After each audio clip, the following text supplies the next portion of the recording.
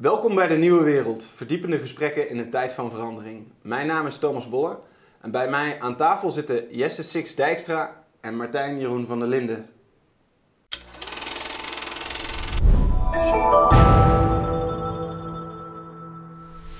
Nou, welkom heren. Dankjewel. Martijn, je bent er weer. We gaan uh, praten over geld, de toekomst van geld. En jij hebt eigenlijk iemand uitgenodigd. Zeker. Uh, uh, Jesse Six Dijkstra. Je bent ehm, verbonden aan de Denktank Perspectief. Klopt. Een jongere organisatie van de ChristenUnie. Exact. En je hebt drie stukken geschreven over central bank digital currency, cryptomunten, de toekomst van geld. En waarom dat een politiek onderwerp moet worden.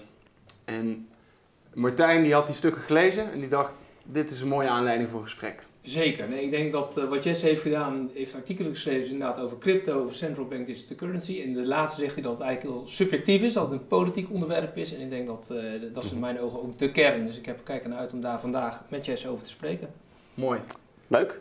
Jess, kun je eerst uh, wat vertellen over perspectief? Zeker. Ja, uh, nou, Perspectief is inderdaad de jongere organisatie van de ChristenUnie. Um, wij zijn officieel niet um, afhankelijk van de ChristenUnie. Het is een onafhankelijke uh, organisatie, maar um, wij dragen wel in principe de waarden van ChristenUnie uit. En ik als uh, lid van de Denktank, wij als Denktank uh, zijn eigenlijk de ideologische kern, zou je kunnen zeggen, van de organisatie. Wij proberen actuele politieke onderwerpen aan te kaarten, uit te diepen, goed te beschouwen vanuit verschillende invalshoeken. Te kijken van hey, hoe kunnen wij vanuit ons sociaal-christelijk denkkader uh, daar invulling aan geven. En um, verder organiseren wij ook bijvoorbeeld discussieavonden, houden we ons bezig met de speerpunten van de partij. En um, nou, proberen we zo actuele politiek te bedrijven voor, uh, voor jongeren. Leuk. En jij dacht, central bank digital currency, daar weet onze achterban vast nog niet van alles van. En ik ga me daarop storten en dit presenteren aan de jongeren van, uh, van de partij? Nou, eigenlijk ongeveer wel. Dat was wel, uh, wel mijn gedachte van... Eigenlijk in algemene zin, niet alleen uh, bij perspectief merkte ik dat... maar ik heb het idee dat onder jongeren in het algemeen um, het niet heel erg leeft. Als in crypto is een hot topic... maar dan eigenlijk vooral over hoe kan ik met crypto zoveel mogelijk geld verdienen... hoe kan ik snel rijk worden. Um, anders dan van, hey, hoe moet ons economisch stelsel er over een paar jaar uitzien? Mm -hmm. Wat is de rol die crypto kan spelen en uh, central bank digital currency, andere manieren waarop geld meer gedigitaliseerd wordt, dat ik eigenlijk dat gesprek miste. Dat ik merk, heel veel mensen weten er eigenlijk heel weinig van. Um, en dat maakt ook dat het moeilijk is om daar een zinnig gesprek over te voeren. En dat ik denk dat is niet alleen onder jongeren zo, maar over het algemeen in het hele politieke spectrum. Um, dat dat gesprek helaas een beetje ontbreekt. Mm. En uh, dat ik denk dat we als Nederlandse politiek erg reactief reageren op um, alle ontwikkelingen die er zijn, in plaats van dat we proactief gaan denken van hé, hey, wat is een economisch, financieel, digitaal stelsel waar we naartoe willen. Hm. En um, heb jij zelf cryptomunten? Ik heb zelf geen cryptomunten.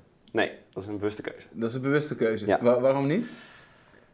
Ik heb niet echt geloof in het cryptostelsel zoals het er nu is. En ik vind ook de manier waarop het nu is ingericht. Um, nou, niet, niet geheel rechtvaardig eigenlijk. Hm. Ik maar denk, je vindt het onderwerp wel interessant? Ik vind het onderwerp fascinerend, zeker. Ja. Okay. Dat is echt een persoonlijke keuze. Mooi. Goed.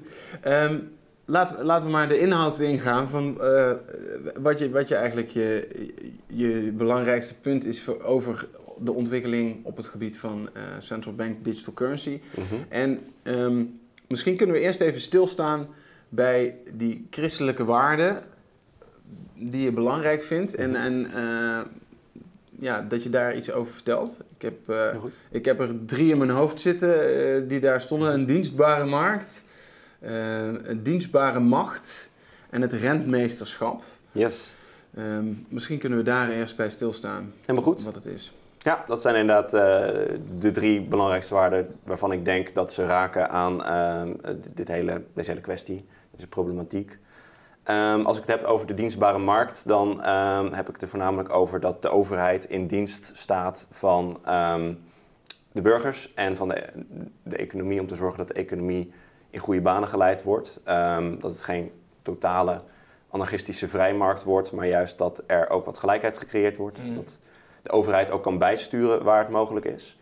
En ehm, wat je natuurlijk heel erg ziet bij de crypto's enerzijds en de central bank digital currencies anderzijds, dat zijn heel andere soorten munten. Crypto is eigenlijk heel vrij, helemaal in handen van het volk zou je kunnen zeggen, of in elk geval de mensen die het bezitten. Um, daar kan verder een overheid of een centrale bank geen invloed op uitoefenen, waar central bank digital currencies juist inherent centraal zijn. Eén centrale bank die daarover gaat, dat uitgeeft en ehm, dan ook de valuta kan, uh, kan controleren en beheersen. En ik denk dat het belangrijk is om daar een, een, goede, gezonde balans in te vinden. Om goed te kijken naar wat zijn de voordelen en de nadelen en de risico's van beide systemen. Of is er nog een derde weg? Um, met het verdwijnen van contant geld zie je natuurlijk van het systeem is aan het veranderen. En ik denk dat het reëel is om te denken, contant geld komt niet terug op de manier waarop het ooit geweest is. Um, hoewel ik echt de meerwaarde zie van contant geld, denk ik dat we daar gewoon reëel in moeten zijn. Van, het heeft heel veel voordelen om alles digitaal te hebben. Altijd je bankpas bij de hand in plaats van te moeten pinnen. En um, dan goed na te denken van oké, okay, zo staan we er nu voor. Hoe willen we het over vijf mm. à tien jaar? Mm. En, en wat, wat, is dienstbare macht? Want laten we die er ook bij, laten we die twee even samen pakken. Ja, is, is denk ik gerelateerd eraan, um, maar nog wel net wat anders de machten die inspelen op ons financieel stelsel, dan heb ik vrij snel over de overheid en uh, het ministerie van Financiën. Je zou het ook kunnen hebben over de centrale banken, maar ook zeker de commerciële banken. De commerciële banken is natuurlijk um, SEC geen officiële macht, maar ik denk de rol die ze vervullen in het huidige stelsel geeft ze wel heel veel invloed en ook wel, nou ja, schaduwmacht zou je kunnen zeggen op um, de manier waarop het stelsel vorm krijgt. Mm -hmm. En um, als je het hebt over een bepaalde dienstbaarheid erin, denk ik dat er wat scheefgroei uh, heeft plaatsgevonden. Onder andere in de rol die uh, commerciële banken hebben. Waaronder je ook kan zeggen van er is een bepaalde verwevenheid gekomen in uh, de taken die ze hebben. Als je het hebt over uh, het deposito-garantiestelsel, bijvoorbeeld banken kunnen niet zomaar omvallen, want de overheid staat garant voor ze. Maar anderzijds hebben ze wel de vrijheid ja. om... Laten we, voordat we, want, want anders zetten we meteen de diepte in over okay, die technische yeah. onderwerpen. Laten we eens even, even eerst evalueren wat, wat dat dan mm -hmm. betekent. Een uh, dienstbare markt en een dienstbare macht. Mm -hmm. En uh, hoe, hoe dat eruit ziet als dat goed functioneert ook. Hmm. Goeie vraag. Ik denk een goed functionerende dienstbare markt en een goed functionerende dienstbare macht... dat is uiteindelijk een systeem waarin... Um, er een relatieve gelijkheid, voor zover dat mogelijk is, onder uh, de mensen is om hun geld te besteden en te verhandelen. Dat uh, grote vermogende bedrijven niet uh, alleen de koers bepalen van hoe het stelsel eruit ziet. En um, dat de overheid daar ook niet de alleenmacht in is, maar dat het een gezonde samenwerking is van verschillende partijen. Um, waarbij uiteindelijk de mensen gediend worden. Hm. Niet gericht op enkel expansie, maar juist op uh, nou ja, sociale gelijkheid. Erin. Sociale gelijkheid, want dat zijn ja. ook die christelijke waarden waar je het mm -hmm. dan over hebt. Ja.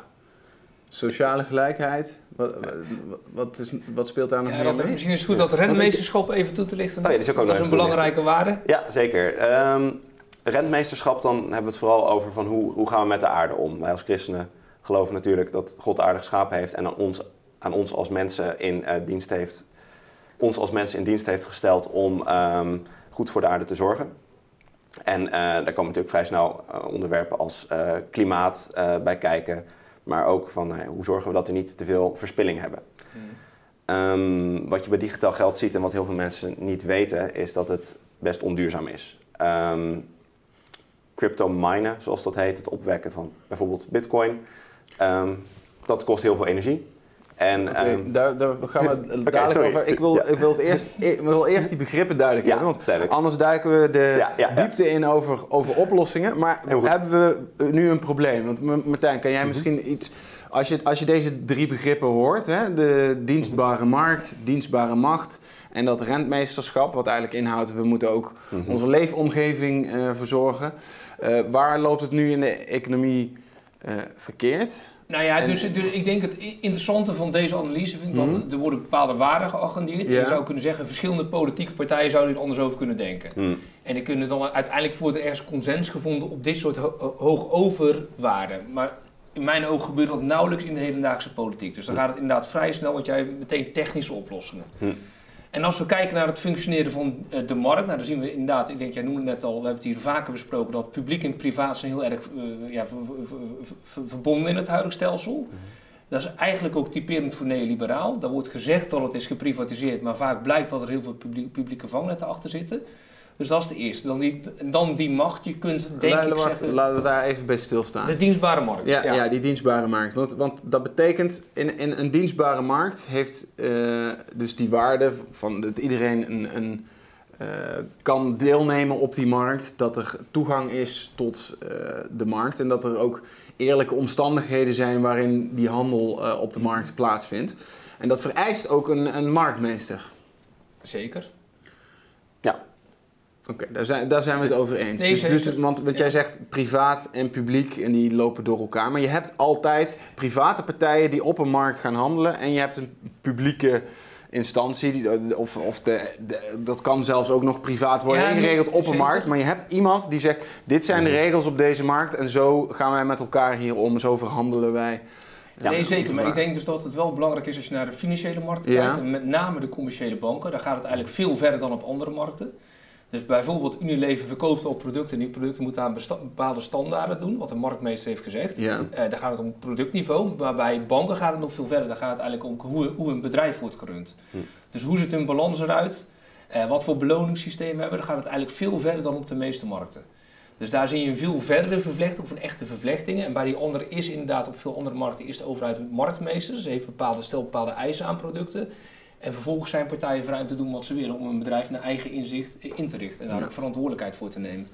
Ja, en bij die, die eh, bankaire sector, daar is de regelgeving zo gedetailleerd en bemoeit de toezichthouder zich ook tot in, in vrij veel detail met wat er wel. Uh, en je ziet dus ook dat bij banken er steeds meer mensen met regelgeving bezig zijn, met compliance, voldoen aan de regelgeving bezig zijn.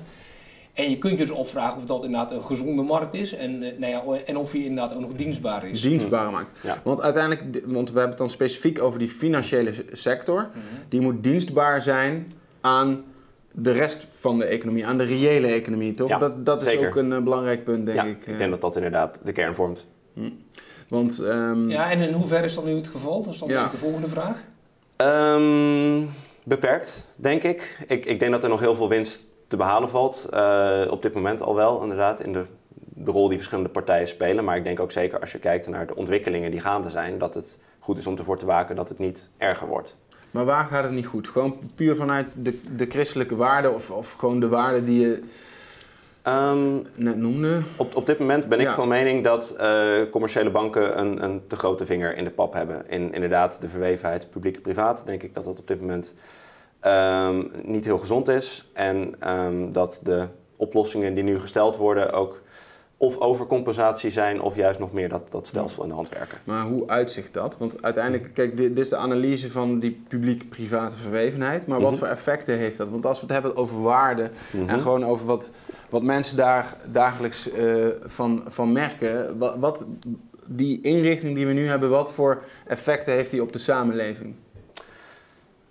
Ik denk dat effecten die je kan zien van de manier waarop het uh, nu is vormgegeven, um, dat, um, dat dat uiteindelijk effect heeft op heel veel facetten waar we nu in zitten. Kijk naar uh, bijvoorbeeld de huizenmarkt, kijk naar um, nou ja, de manier waarop veel speculaties plaatsvinden, die eigenlijk voor heel veel mensen wel een, een ver van een bedshow zijn, waarmee met essentiële onderdelen van ons rijlen en zeilen gespeculeerd wordt. En uh, dat niet altijd op een, zuivere manier uh, plaatsvindt. En dat uh, ja, topmannen van banken grote bonus uitgekeerd krijgen. Ja, in principe, het is in feite hun goed recht. Um, maar het is wel een beetje scheef als je kijkt naar um, economische scheefgroei die op dit moment in Nederland gaande is. Hm. Dat is grappig dat je dat zegt, het is hun goed recht. Want dat, wat het, welke, wel, waar, waarom is het hun goed recht? Omdat ze commerciële instellingen zijn. Dus in feite eh, mag dat gewoon, dat, dat kan je ze ook niet ontzeggen. En als het, maar als ik de christelijke waarden, ik ben niet zo heel goed thuis in de, in de mhm. Bijbel, maar als ik het heb over geld met geld verdienen, mm meen ik mij te herinneren dat er toch uh, in de Bijbel ook wel aardig wat uh, passages zijn die dat veroordelen. Kijk, uiteindelijk van, we, we, kunnen niet moralistisch zeggen van dit mag niet. Hè? Dat is ook van iets van, ik, ik zou er moeite mee hebben om in zo'n positie te staan. Dat klopt. Maar ik denk dat de maatschappij wel gebaat is bij het feit dat er commerciële instellingen bestaan. En dat mhm. er een bepaalde winstbejag is, dat, dat is gewoon een feit. En dat, dat, dat kom je ook niet aan. En in principe, het feit zoals we het nu hebben ingericht, is dat ook gewoon een essentieel onderdeel ervan. De, hebzucht, de hebzucht. Ik denk het wel. Ja, kijk, je kan, je kan mensen niet veranderen. Ik, ik denk niet dat je de hebzucht bij mensen kan wegnemen.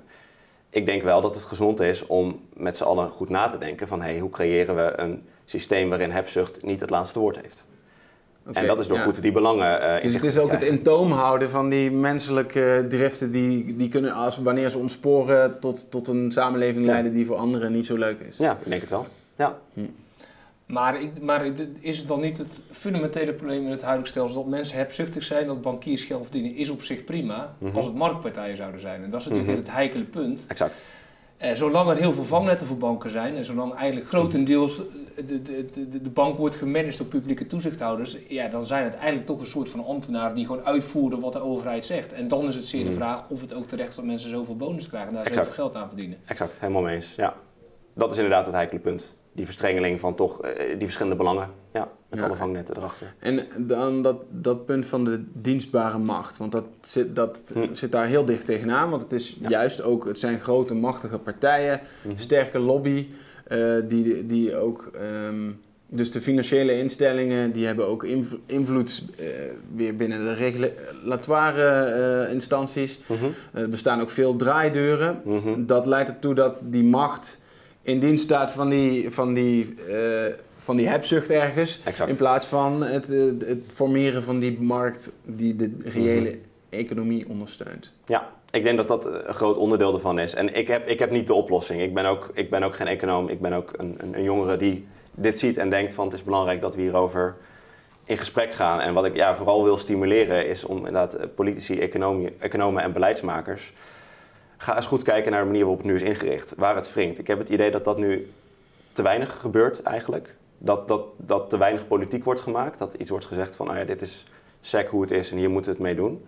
Ehm, en vooral te kijken van, nou ja, waar willen we dan ook heen? Hoe zorgen we dat de machten netjes gescheiden blijven? En dat, dat commerciële en, en private publieke belangen, dat dat, dat allemaal ook netjes op het gebied van macht um, goed vorm krijgt. Ja.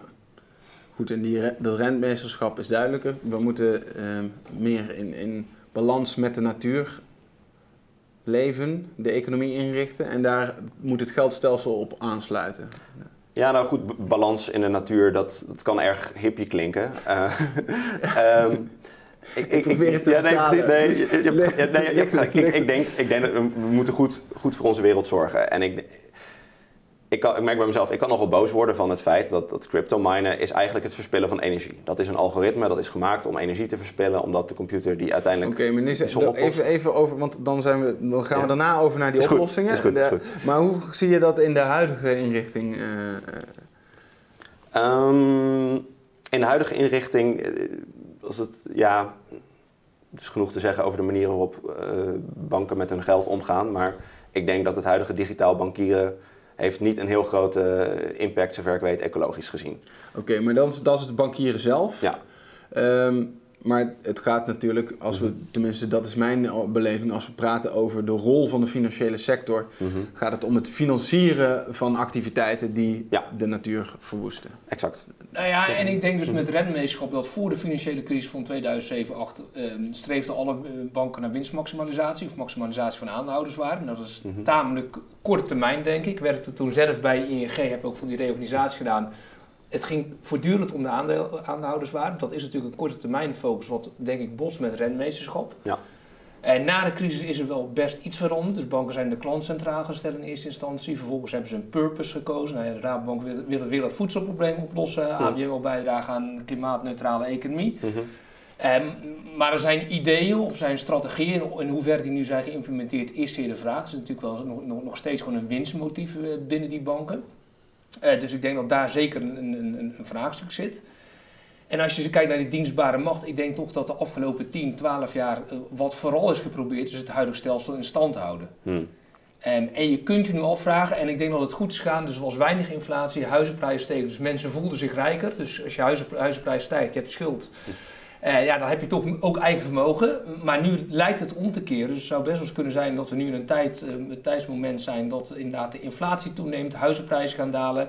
Eh, dan worden de problemen gewoon echt zichtbaar. Dan blijkt ook dat er heel weinig eigenlijk is veranderd. En dan zou misschien een moment kunnen zijn om het systeem veel meer op een Ja. dienstbare macht en rentmeesterschap in te richten. En daarom is denk ik inderdaad nu het debat is heel erg nodig. Dat politici nu beseffen, nou ja, we kunnen hier iets aan doen. We kunnen het anders inrichten. En eh, nou ja, een CBDC of een crypto zijn daar stapjes in, maar nog lang niet genoeg denk ik. Ja, en jij hebt daar jezelf ook voor ingezet vanuit de stichting Ons Geld.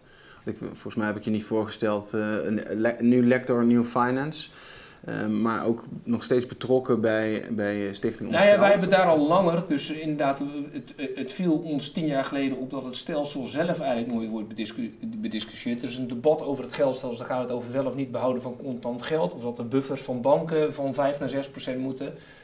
Er zijn vrij kleine gedetailleerde dingen. En de- uiteindelijk de hele inrichting betreft de marktordening. Eh, ik denk dat dat ook vrij aardig in jouw stukken stond. En dat is ja, bij definitie een politiek vraagstuk. Ja. Je ziet dat politici eigenlijk heel afwachtend zijn, of jij noemt het Mm. reactief, ik denk dat dat helemaal klopt. Dus als ze heel slecht in beeld hebben, kijken wat voor soort geldstelsel zouden we willen- hebben, zodat het dienstbaar kan zijn, zodat de macht dienstbaar is, zodat de investeringen vooral op lange termijn renderen en niet op korte termijn. Nou, dat, dat, dat, dat, ja, dat, dan moeten er bepaalde keuzes worden gemaakt die tot nu toe niet zijn gemaakt. Ja, nou, we zitten nu op dat punt dat er wordt nagedacht over central bank digital currency, het uitgeven van een digitale euro door de centrale bank. En wat dat betreft een, een, zou daar, dat een digitale variant kunnen worden van het contante geld. ehm, eh, dat we kennen dat we als briefjes en muntjes in onze portemonnee hebben. Dat wordt nu uitgegeven door de centrale bank. Het andere digitale geld, dat is voornamelijk eh, gecreëerd door commerciële banken en staat ook bij commerciële banken. Eh, de ontwikkeling van die central bank digital currency, die is eigenlijk nou, nu de afgelopen jaren eh, steeds sneller gegaan. Want eerst werd daar helemaal eigenlijk niet over, over gesproken. Een aantal jaar geleden was het in Europa in ieder geval eh, nog niet denkbaar. Ook naar aanleiding van de opkomst van cryptomunten en, en ja, nog wat andere internationale ontwikkelingen. maar laten we even stilstaan bij die cryptomunten, want jij noemt ze ook in je stukken. Mhm. Je zegt zelf al, ik heb ze niet. Eh, je hint net al een paar keer op het energieverbruik van de munten. Eh, maar het- zoals je ook al beschreef, de meeste van je leeftijdsgenoten die die munten hebben, die kopen ze om rijk te worden. Dus Ja. dat is juist weer die hebzucht. Dus hoe, is, hoe, is de, hoe past die cryptomunt Hmm. in, in dit verhaal van Ja. eh, een, een andere economie? Ja, dat is een, een terechte vraag. En ik, ehm, ik, ik ken persoonlijk mensen die eh, best een aardig zakcentje hebben verdiend met crypto, maar ook genoeg die eh, nou ja, toch wel heel wat geld ermee verloren zijn. Ehm, crypto aan zich, op de manier waarop het nu is vormgegeven, eh, denk ik dat dat niet houdbaar is op de lange termijn. In elk geval niet in een, in een dominante rol. En dat inderdaad meerdere facetten.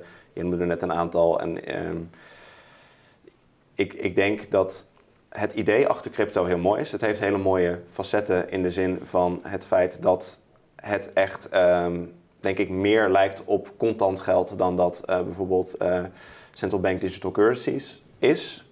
Aangezien het niet op een bankrekening staat, eh, waar de central bank digital currencies alsnog via een centrale bank gaan, zoals de ECB, is crypto echt, ieder heeft zijn eigen portemonnee en daar zit geld in. En voor de rest, dat is aan jou. Want in, in je stuk schrijf je daar ook over, over die tegenstelling. Hè? De- Mhm. Bij een centrale bankmunt heb je een centrale partij die ja, veel invloed heeft op hoe die munt eruit ziet.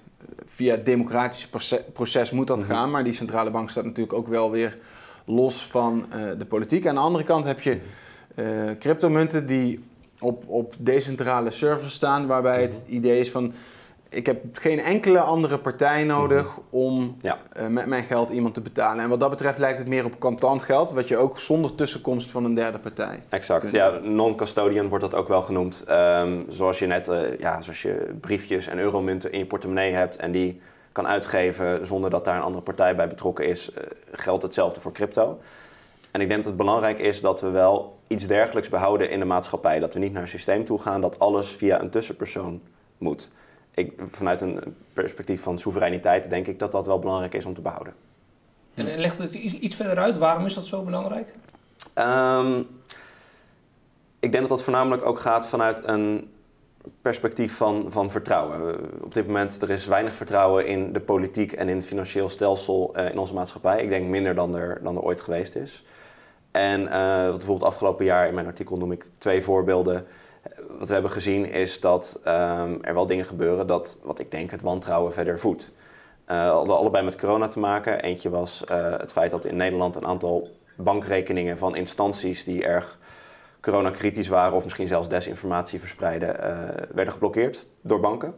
Dat was dan niet op last van de overheid, maar het feit dat die banken een bepaalde taakstelling hebben van, en ook dachten in de invulling, nou, we moeten desinformatie verspreiden. We uh, blokkeren bankrekeningen en heel veel gingen daarna over op crypto. Grootschaliger zag je het in Canada met uh, de Freedom Convoy, zoals werd genoemd, mm. het Truckers Protest, waarin een noodwet werd aangenomen, of die was al aangenomen, die werd uitgevoerd.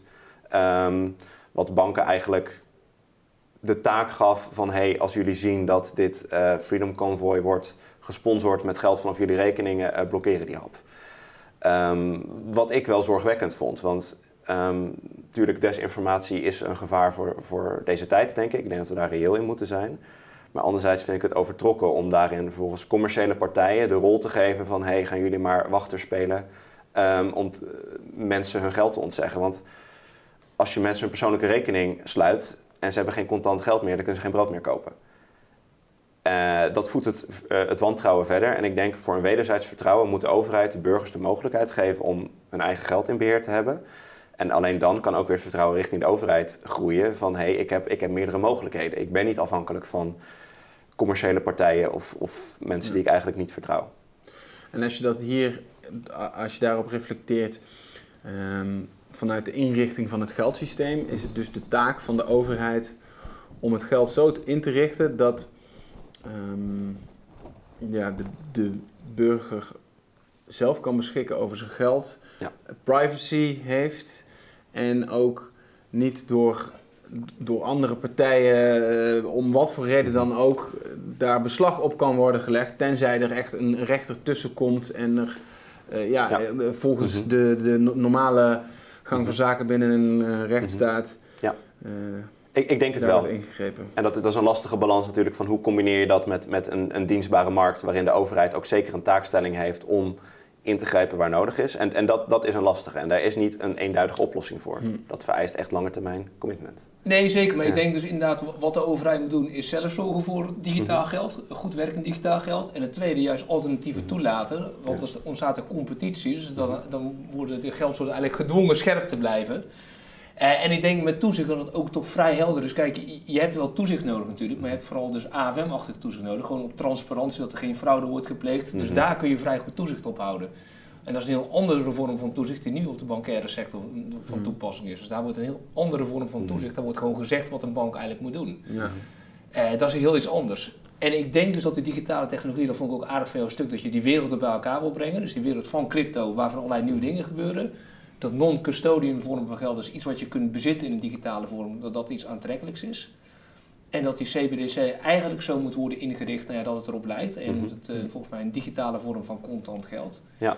En ik denk dus dat je daar designkeuze in kunt maken. En het wordt vaak account-based of token-based genoemd. Hmm. En account-based dat je de rekeningen bij de centrale bank. En token-based dat je toch een token op je telefoon hebt die je dus peer-to-peer -peer kunt overmaken. -hmm.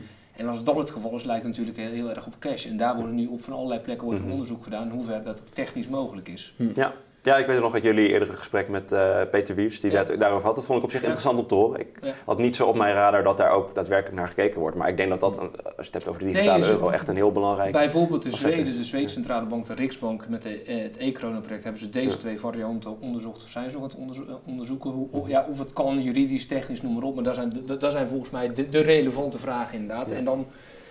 Uh, dus ook hoe het geïmplementeerd gaat worden, moet inderdaad aantrekkelijk zijn, zodat mensen het weer gaan vertrouwen. Dus dat vond ik ook aardig van jouw stuk, het wantrouwen in de, de financiële sector. En dat het een mogelijkheid zou kunnen zijn om juist weer meer vertrouwen erin te krijgen.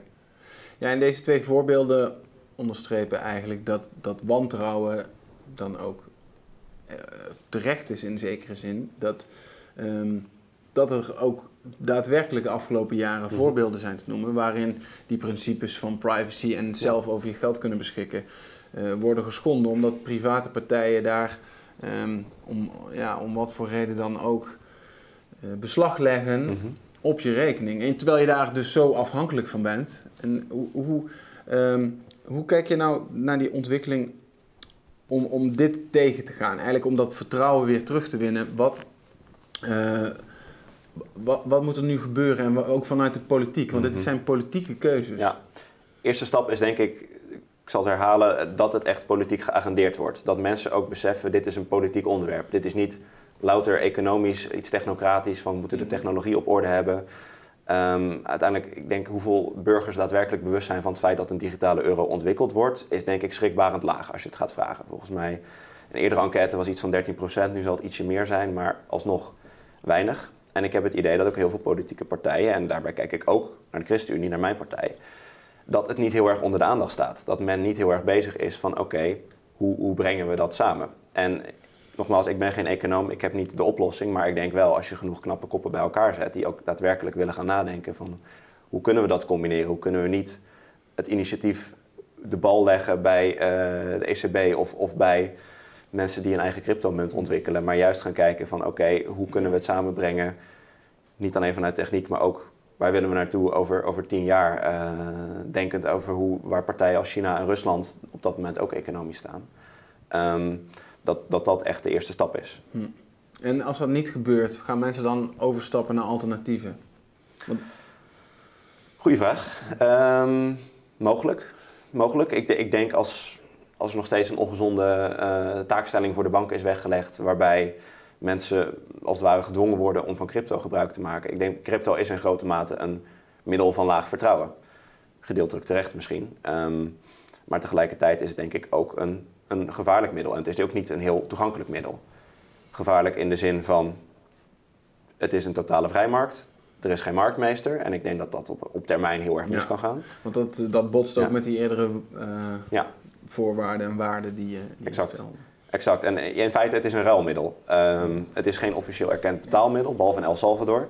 Uh, maar op andere plekken ter wereld, het heeft waarde omdat mensen het waarde toekennen. En er zit verder geen, geen overheid achter die dat die waarde erkent. En ehm, dat kan in sommige gevallen heel goed werken, maar ik denk wat we tot nu toe zien, crypto is voornamelijk een investeringsmiddel. Het is een middel waar, waar op gespeculeerd kan worden, waar veel geld mee verdiend kan worden met handige koersen.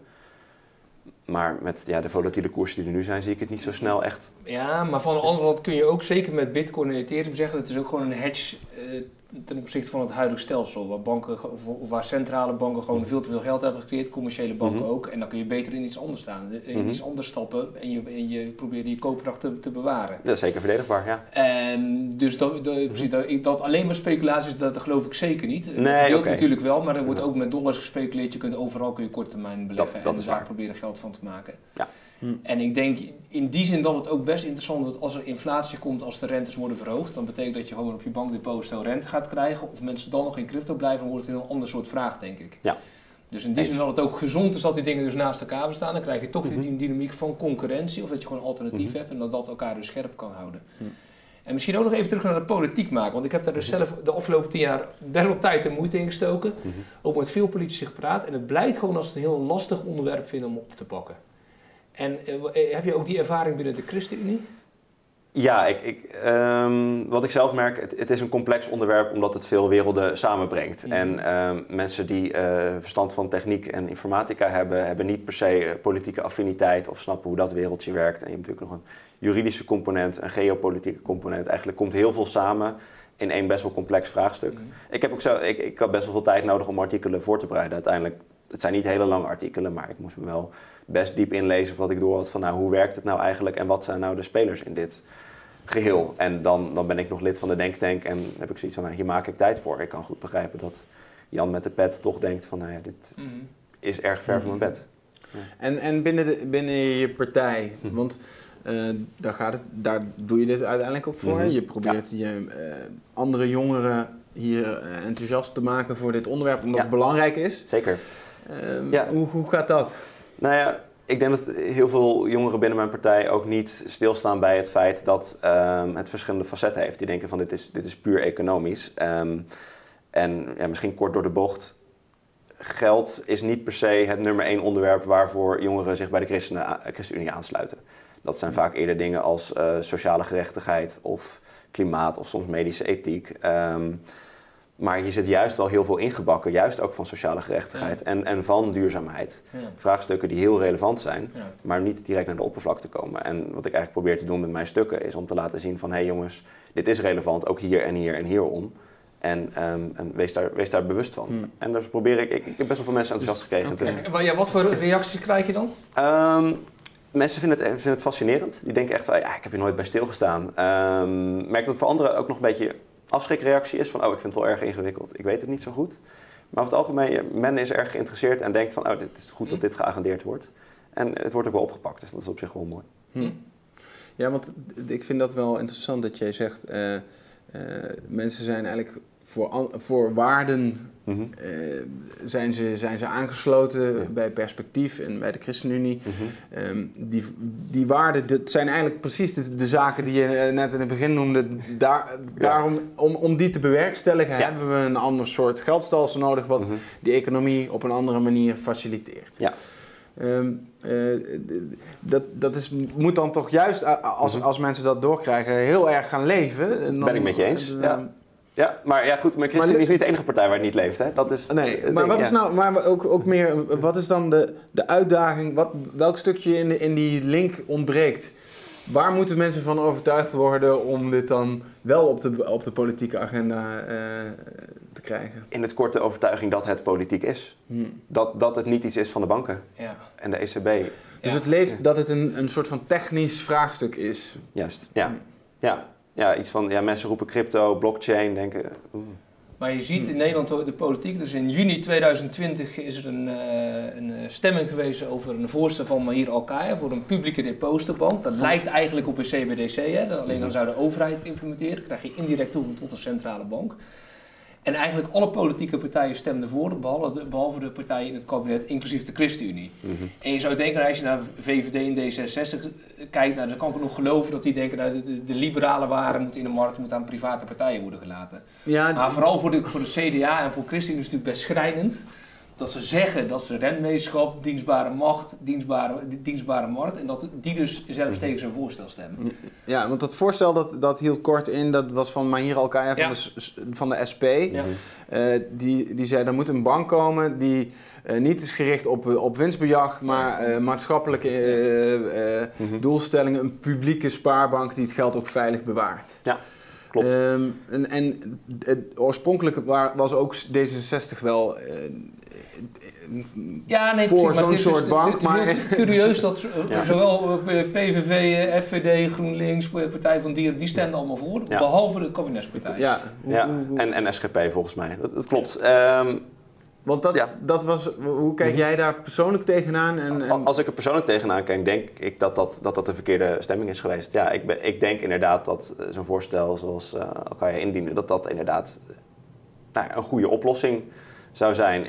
Kort door de bocht. sluit aan op je waarde. Ja, dat, dat, ja. Dat, dat, dat, dat denk ik wel. En ik zou ze inderdaad eh, willen aanmoedigen om dat nog eens goed te, te heroverwegen. Ik denk, ja, korte antwoord is, het stond niet in het coalitieakkoord, redelijk dichtgetimmerd, we gaan het niet doen. Ehm, maar goed, ja, dat is ook een dode mus. Ehm, ik denk inderdaad eigenlijk dat het niet genoeg op de radar stond bij die partijen van wat, wat het daadwerkelijk behelst. Ja. En dat het ook, dat die waarden er zo intrinsiek mee verbonden zijn. Hoe, maar hoe gaat het proces? Want eh, ik heb ehm ehm, Eppo Bruins, die zat toen voor de ChristenUnie in de, in de Kamer. Die was wel degelijk op de hoogte. En als je hem sprak, dan vertelde hij eigenlijk hetzelfde soort verhaal wat jij vertelt over de christelijke waarden en eh, sociale eh, mobiliteit, mogelijkheden en financieel stelsel dat in dienst staat van. Ehm, maar toch stemt, stemt hij dan eh, tegen zo'n voorstel. Ik was er niet bij in 2020 toen het gebeurde. Eh, ik, ik weet het helaas niet. Ik, ik weet niet waarom die keuze toen eh, op die manier eh, gemaakt is. Ik, ik, zou, ik zou zelf anders gestemd Ja. hebben, inderdaad. En ehm, ja, dat is ook ja, wat wij als Denktank zeggen van nee, dat, dat lijkt, is- echt een goed initiatief. En ik denk Ja. dat inderdaad eh, dat wel een gezondere verhouding eh, binnen het financiële stelsel publiek-privaat eh Ja. teweeg gebracht zou, gebracht zou hebben. En hebben jullie nu re- reacties gekregen op je, je, je, st- je stukken voor perspectief? Ook vanuit de partij zelf? Vanuit de... Geen, Kamer. geen formele reacties, behalve van dat mensen het gelezen hadden en het erg interessant vonden. En, en dan denk je dat er nog eh, discussies gaan komen? Want Ik dat- hoop het wel. Ik hoop het wel. Ja. Want dat is dan uh, toch wel eigenlijk van belang. Dat die jongeren, maar als je het zo beschrijft, dan denk ik van nou, er zit dus ergens een mismatch tussen wat de jongeren ook van, van de politieke partijen willen. En wat, mm wat er dan uiteindelijk in de, de regering wordt uh, besloten. Ja, het lijkt me heel gezond dat die mismatch er altijd is. Want het, het moet een beetje schuren natuurlijk. Mm En als jongeren heb je toch net wat andere dingen waar je de focus op legt dan dat inderdaad de centrale partij dat is. Ik denk dat wij als jongere tak ook net wat linkser zijn dan de partij zelf. En dat is prima. En um, ook juist denk ik dat wij er zijn om die jongerenbelangen ook goed uh, aan de kaak te stellen en uh, te agenderen. Wordt er naar jullie geluisterd? Um, als het goed is wel. Ik, ik heb geen zicht op in welke mate, maar er is, er is veel communicatie inderdaad tussen ons bestuur en tussen de partij.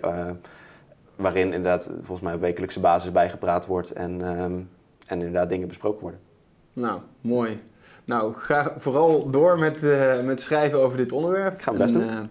Bedankt voor het gesprek. Dankjewel.